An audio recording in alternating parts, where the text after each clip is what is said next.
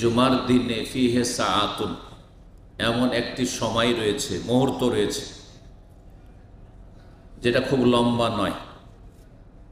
লায়ু আফে কহা আব্দুল মুসলিমুন, কোনো মুসলিম বান্দা যদি সেই সময়টি পেয়ে যায় ইয়াস আল্লাহ সেই আমিন খাইরাই দুনিয়া ওল আখেরা, দুনিয়ায় এবং আখেরাতের যে কোনো কল্যাণমূলক ভালো কিছু যদি আল্লাহর কাছে চাইতে পারে এই সময়টিতে। তাহলে ইল্লা আতাহু ইয়াহু, আল্লাহ রব তাকে অবশ্যই সেটা দেবেন বা আল্লাহ সেই দোয়া কবুল করবেন। এই সময়টা হচ্ছে মোবারক সময়। যেই সময় সম্পর্কে নানা মত রয়েছে, তার মধ্যে দুটি মত সবচাইতে বলিষ্ঠ, শক্তিশালী।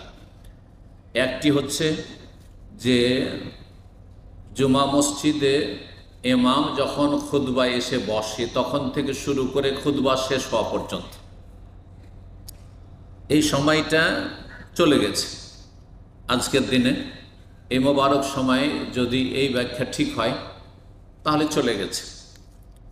আর আর একটি ব্যাখ্যা যেটা বেশি শক্তিশালী আরও বলা যেতে পারে, সেটা হচ্ছে জুমার দিন, আসরের সলাতের পর থেকে শুরু করে মাগরে পর্যন্ত, যেই সময়টা কাটাচ্ছেন। ছাব্বিশ রমজান, সামনে মাগরে হইলে সাতাইশ রমজানের রাত যেই রাতটি সম্পর্কে সবচাইতে বেশি আশা করা যায় যে লাইলাতুল কাদার, সবচাইতে বেশি আশা করা, নিশ্চিত নয়। যেমন এর আগে বলেছি, যে কোনো বেজোড়ে হতে পারে, একুশ, তেইশ, পঁচিশ, সাতাইশ, উনত্রিশ। কিন্তু সাতাইশ সম্পর্কে প্রখ্যাত সাহাবি ওবাইবিনে কাব রাজি আল্লাহ তালাহ বড় কারি, হাফেজ সাহাবে, সাহাবি তিনি কসম করে করে বলতেন যে আমি রসুল্লাহ সাল্লামের কাছে শুনেছি এবং আমি নিশ্চিত জানি যে লাইলাতুল কাদার কোন রাতটি, সেটি হচ্ছে আন্নাহ লাইলাতা সাবে ঐশিন বা সাবা ঐশিন, সাতাইশের রাত। সুতরাং এই সাতাইশের রাতটি সম্পর্কে সবচাইতে বেশি আশা করা যায়। এই জন্য যেটুকু গাফিলতি আমাদের হয়েছে, আল্লাহ যেন মাফ করেন। ফরজে গাফিলতি হইলে আল্লাহর কাছে তওবা করছি, আল্লাহ যেন মাফ করেন। ওয়াজেবে ঘাটতি হলে আল্লাহ যেন মাফ করেন। আর সুন্নত মুস্তাহাবে যদি ঘাটতি ত্রুটি হয়ে থাকে, তাহলে আমরা হতভাগা। আল্লাহ যেন আমাদেরকে ভাগ্যবান হওয়ার তৌফিক দান করেন। এবং এই অলসতা, গাফিলতি, উদাসীনতা আল্লাহ আমাদের যেন দূর করে দেন। অন্তরকে আল্লাহ নরম করে দেন। আখেরাতমুখী করে দেন। জান্নাতমুখী করে দেন আল্লাহমুখী করে দেন, মসজিদমুখী করে দেন এবং দুনিয়ার যতটা প্রয়োজন আল্লাহ সহজে যেন আমাদের দান করেন। দুনিয়ার সামান্য তুচ্ছ রুজি রোজগারের জন্য পেরেশানি যেন না উঠাইতে হয়। অল্প মেহনতেই আল্লাহ যেন আমাদের অনেক অনেক দুনিয়া আখেরাতে বরকত দান করেন, দুনিয়া বিমুখতা দান করেন আখেরাত মুখী হওয়ার তৌফিক দান করেন। এই দোয়াগুলি করেন। কারণ এই দোয়াতে হতে পারে যে সারা জীবনটা আপনার চমকে যাবে, সারা জীবনটা আপনার চমকে যাবে। তো আমরা আজকে লম্বা আলোচনা, বেশি করার সুযোগ পাব না।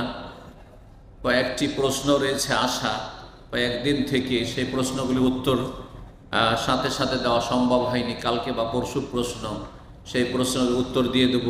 ততক্ষণে আমাদের ভাইয়েরা আরও সবাই চলে আসবেন ইনশাআল্লাহ। আর তারপরে আমাদের আজকে পুরস্কৃত করব আমাদের ভলেন্টিয়ার স্বেচ্ছাসেবক ভাইদেরকে যারা গোটা রমজান মাসে অক্লান্ত পরিশ্রম করে। অধিকাংশ ভাইয়েরা তাদের আসর পর থেকেই চলে আসেন এখানে। আসরের সলাতের সাথে সাথে এখানে মজুদ থাকেন। এমনও ভলেন্টিয়ার ভাইরা রয়েছেন যে জাহমুল্লাহ খাই আল্লাহ সবাইকে আল্লাহ তৌফিক দান করুন। কেউ তো কাজের ব্যস্ততার কারণে একটু লেটে আসে। কিন্তু আন্তরিকতা আছে সবার, আশা করি ইনশাআল্লাহ। যার যতটা এখলাস আন্তরিকতা, ততটা আল্লাহ তাকে বদলা দেবেন, এতে কোনো সন্দেহ নেই। যে যত বেশি আন্তরিক হয়ে এখলাসের সাথে কাজ করবে, যে কোনো কাজ, তার মধ্যে একটি হচ্ছে এই ইফতার ক্যাম্পে স্বেচ্ছাসেবক হিসাবে রোজাদার ভাইদের খাবার, দাবার ইত্যাদি পানি পরিবেশন করা। অনেক বড় খেদমত। যারা টাকা পয়সা দিয়ে ইফতার খরিদ করার ব্যবস্থা করে দিচ্ছেন তারা যেমন রোজাদারে সব পাচ্ছেন, তেমনি যারা স্বেচ্ছাসেবক তারা শ্রম দিচ্ছেন, মেহনত দিচ্ছেন, পরিশ্রম করছেন। হয়তো একটা পয়সাও দিতে পারবেন না বা পারেন না। তারাও ঠিক ওই রকমই রোজাদার রোজা রেখে যতটা সব পাবে।